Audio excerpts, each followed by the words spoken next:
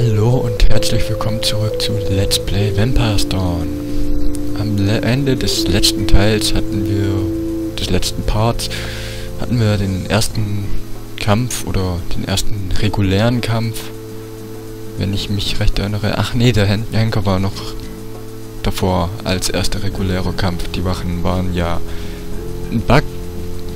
Und äh, ich hoffe, dass ich zur Mine jetzt drüber komme ohne allzu viele Kämpfe, aber das werden wir erst sehen. Ähm okay, das ist ungewöhnlich, dass nicht so viele Kämpfe kommen. Seltsam.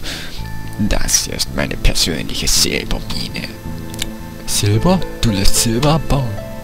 Ja, ich weiß es ist widersprüchlich. Wir bauen Silber ab und verkaufen es an die Menschen, um so Geld äh, zu bekommen, das wir wiederum ausgeben, indem wir uns von Menschen Dinge für uns kaufen. Ich verstehe gar nichts. Ihr tötet Menschen und ihr verkauft ihnen Silber. Nun ja, unter den Menschen gibt es Verräter. Menschen, die mit Vampiren handeln, um so zu Reichtum zu kommen. Und diesen, äh, zu diesen Verrätern, äh, und diesen Verrätern verkaufen wir auch unseren Silber. Und erhalten so unser Geld welches wir wiederum ausgeben, um zum Beispiel Bluttränke zu kaufen.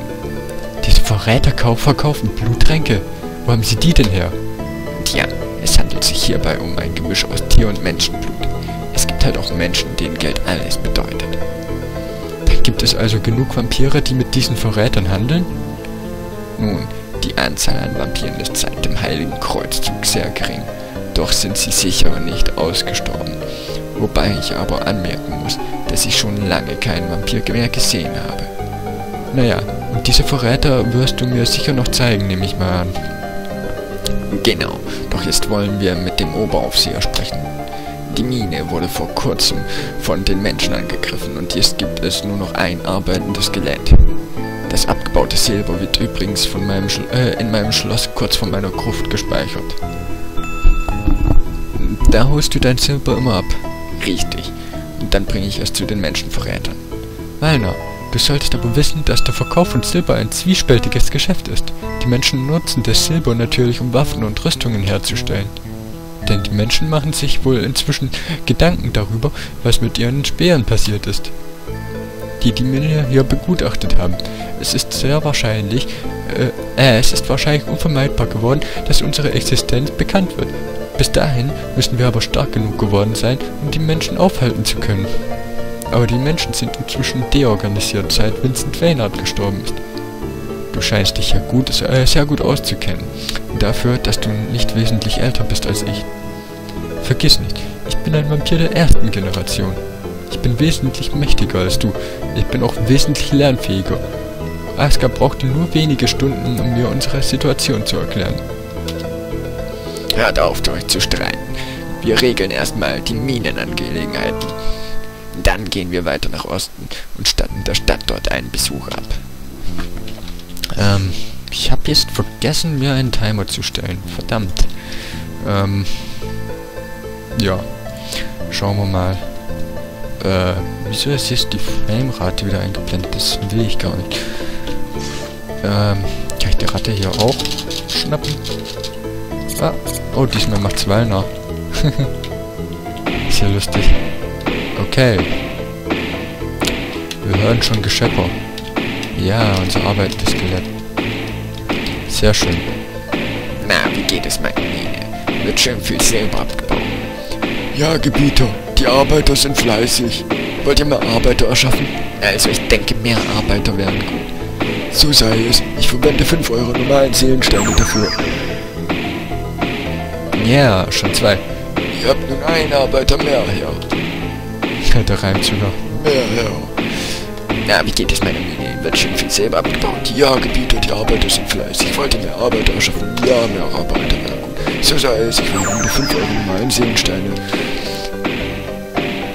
Ja, und deswegen habe ich vorher auch direkt 10 normale Seelensteine machen lassen. Ich hätte, glaube ich, auch 15 machen können. Ja, ich habe hier noch 5 normalen Seelen, aber ich denke, zwei zusätzliche Arbeiter sollten für den Anfang reichen. Und wer weiß, ob ich die normalen Seelen nicht irgendwann noch für irgendwas anderes brauche. Wir werden von einem Bär angegriffen. Yeah. Wir haben ja solche Angst.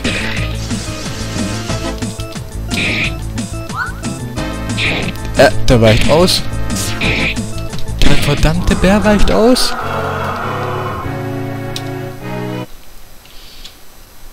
Okay, was habe ich hier?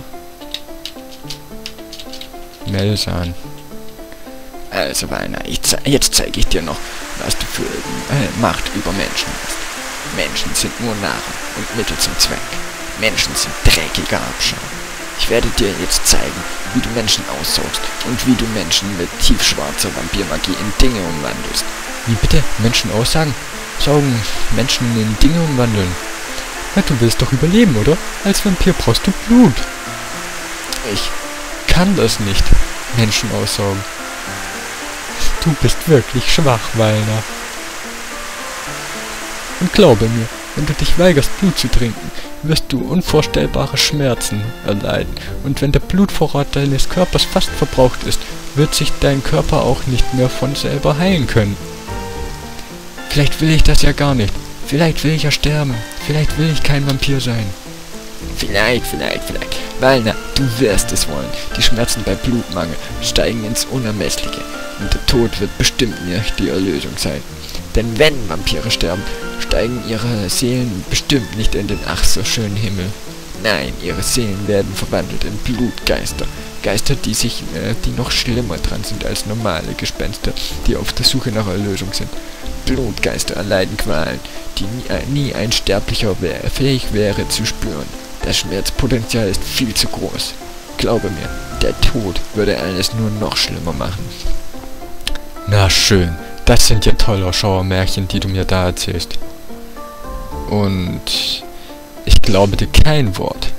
Früher oder später wirst du es einsehen. Aber ein Vampir stirbt nicht so schnell. Wenn seine Lebensenergie verbraucht ist, fällt er zunächst in Starre. Dies ist ein Zustand, der der menschlichen Ohnmacht gleicht. Du kannst nichts mehr machen und nimmst deine Umwelt nicht mehr wahr. Du kannst nur hoffen, dass dir jemand schnell etwas Blut zuflößt oder dass dein Körper noch genug Blut hat, um sich selbst zu heilen. Du solltest aufpassen, dass du immer genügend Blut zu dir nimmst. Wenn dein Blutgehalt zu niedrig ist, verfällst du in pure Raserei. Ein ziemliches Problem aller Vampire. Na schön. Ihr sagt noch etwas von Menschen Dinge in Dinge verwandeln.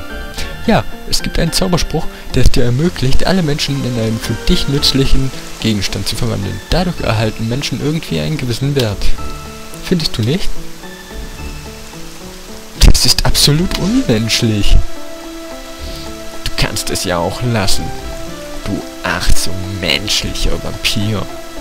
Jedenfalls kannst du Mensch jeden Menschen verwandeln, wenn er nicht einen magischen Schild gezaubert hat. Kannst auch Händler verzaubern. Die bringen auch schöne Gegenstände, aber durch, dadurch kannst du natürlich auch nicht mehr nichts mehr kaufen.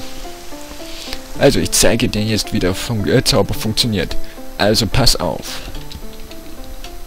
Ah, aha, so geht das. Du hast gelernt, wie man Menschen in, äh, Menschen in Dinge verwandeln kann. Aber fällt es nicht auf, wenn hier plötzlich Menschen verschwinden?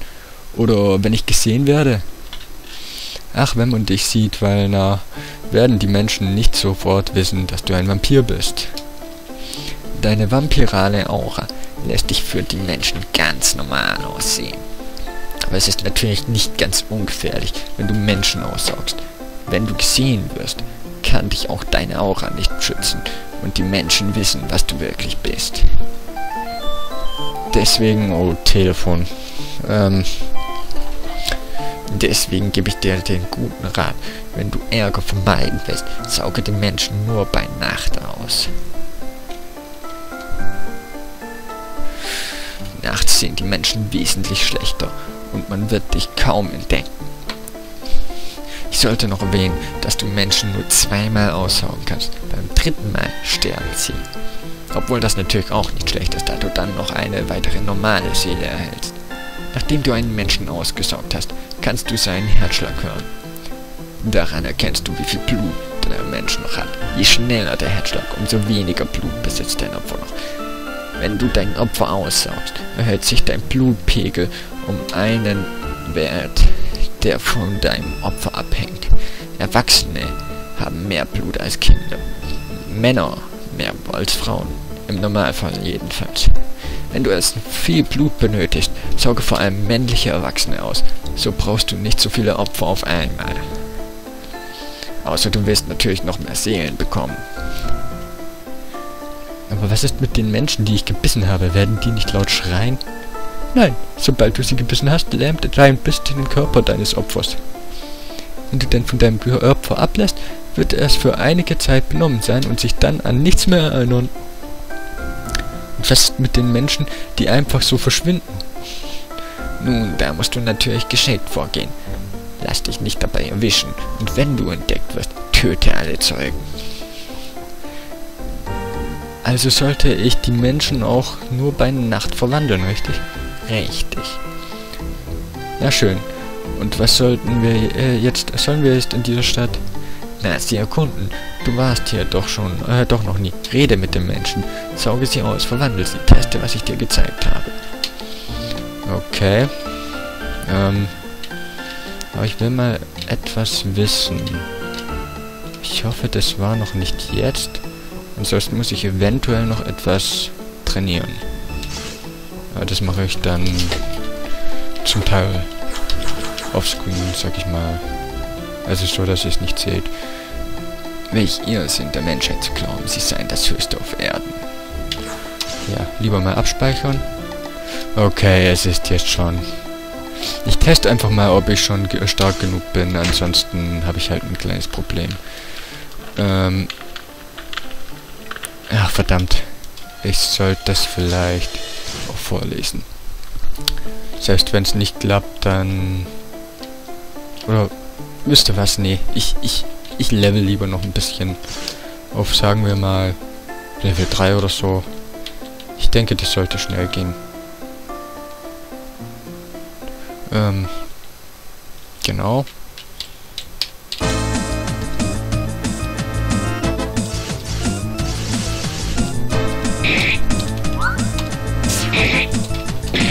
Joa.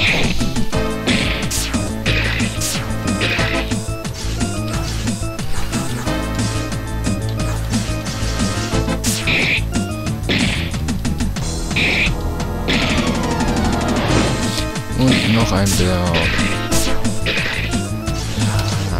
gehen wir ein bisschen Blut saugen vom zweiten Bär.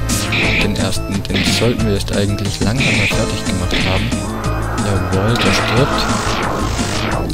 Der eine hat Blut, das braucht er auch. Und der stirbt. Der Feuerball und das Bluten machen durch Saugen haben ihre Wirkung entfaltet. Wie viel Erfahrung habe ich jetzt? noch nicht genügend. Aber das können wir gleich ändern. Seit wann kommen hier nochmal so viele äh, Gegner? Das ist ja unglaublich. Einfach mal draufhauen. Und, ähm... Ja. Mal schauen, ich werde in meinem Video schauen, wie lange das geht. Falls es nicht zu lang geht, werde ich es im Video drin lassen. Ansonsten werde ich es rausnehmen. Das meine ich. Ein Schritt gegangen und schon kommt der nächste Gegner. Ähm, ist hier leider oft so. Ich weiß jetzt gar nicht, ob ich den Easy Patch installiert habe, aber... Ah, nee, kann ja gar nicht sein. Ich habe es ja nochmal drüber installiert, das ganz normale. Aber ob ich am Anfang den Easy Patch installiert hatte, wusste ich nicht, weiß ich es nicht weil ich das schon eine Weile auf meinem Rechner hatte. Na, wie viel noch? Okay, ein Gegner geht noch. Na, ich sagte, ein Gegner geht noch. Jawohl. Dem hauen wir jetzt richtig schön eine rein. Gut, weil braucht man gerade nicht, obwohl. Mal testen, wie viel das halt. Ist immer gut zu wissen, was die Fähigkeiten können. Äh komm, Nuckelblut. Oh, oh, scheiße. Einer fällt in Starre, das ist gar nicht gut. Okay. Okay. Das ist blöd, aber den einen Goblin, den kriegen wir auch zu zweit noch fertig. Und dann kriegen wir den Melner auch gleich wieder aufgepäppelt. Ja. Ach komm, jetzt macht das blöde Vieh doch mal fertig. Kann doch nicht so schwer sein. Meine Güte. Endlich. Das Blut eurer Gegner bedeckt den Boden. Acht Erfahrung und eine schwache Seele. Lane Level 2, ja. Aska, äh, nicht Aska. Walner leider nicht, gerade der, wo ich es eigentlich wollte. Hm, blöd. Dumm gelaufen, äh, das ist. Naja. Walner hat sich halt gedacht, Ladies first, hm? So schaut's aus. Und ich glaube, hier unterhalb des Schlosses gab es auch eine geheime Höhle, aber das werde ich gleich dann nachschauen. Weil dann müsste ich wenigstens eher ein paar Leben wieder haben. Weil, ähm, ja, sie fallen ja erst in Starre und sterben nicht direkt. Das wissen wir ja. Und, ach, muss ich da unten rein? Da drin soll ich schlafen? Alle Vampire tun das. Kein Vampir würde freiwillig in einem Bett schlafen. Außerdem können in einem, nur in einem Sarg die Kräfte eines Vampirs sich vollkommen regenerieren. Wobei allerdings nur die körperlichen Wunden geheilt werden. Das Blut kann natürlich nicht regeneriert werden. Deswegen musst du Leuten ihren Lebenssaft entziehen. Na schön. Dann wollen wir mal. Ja. Es gibt zum Glück mehr als genug Menschen, denen man ihren Lebenssaft entziehen kann, wie es Aska so schön nennt. Ähm. Ja, dann zeige ich mal noch schnell, was es mit dieser Truhe auf sich hat. Hm, was ist das für eine Kiste? Das ist eine der seltenen Elras-Kisten. Sie sind magisch verschlossen werden worden. Die Elras waren eine Gruppe von Magiern, die mit diesen Kisten ihr Hab und Gut beschützten. Beschützten? Ja, denn diese Truhen lassen sich nicht auf normale Art öffnen. Genauer gesagt, öffnen sich diese Truhen nur, wenn derjenige, der sie öffnen will, eine bestimmte Intelligenz hat. Denn die Gegner der Magier waren dumme Krieger und Diebe. So konnten die Elras sicher sein, dass ihre Besitztümer nie von ihren Gegnern gestohlen werden konnten, da diese die Truhen nie öffnen konnten. Wenn, sie, wenn es jemand mit Gewalt versucht, so kommt er meist bei, äh, dabei um. Ich habe es selber schon mal ausprobiert da ich eh nicht sterben kann. Aber ich hatte höllische Schmerzen. Heute sind in der ganzen Welt vereinzelt solche Truhen versteckt. Du kannst nur hoffen, dass du klug genug bist. Ansonsten wirst du wohl nie den Inhalt zu Gesicht bekommen. Hm, lässt sich nicht öffnen. Ja. Ich hatte es euch doch versprochen, dass ich euch das noch zeigen werde. Und ähm, eigentlich müssten die jetzt alle wieder volle Leben haben, ganz genau. Äh, ach, ich wollte noch was anderes gucken. Wo wir doch gerade beim Schloss sind. Äh, aber ich habe echt vergessen, mit den Timer zu stellen. Das ist ungünstig. Ich weiß jetzt echt nicht, wie lange der Part schon läuft. Äh, 20 Minuten, okay kann ja erst mehr als 15 Minuten hochladen, deswegen sollte das eigentlich kein Problem sein. Und deswegen werde ich diesen Part hier jetzt auch erstmal beenden. Und dann sieht man sich das nächste Mal, wenn es wieder heißt Let's Play Vampire Storm. Ciao!